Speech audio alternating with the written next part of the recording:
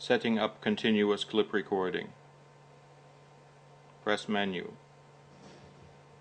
Select record set. Select rec mode. Choose clip continuous. Confirm. Exit menu.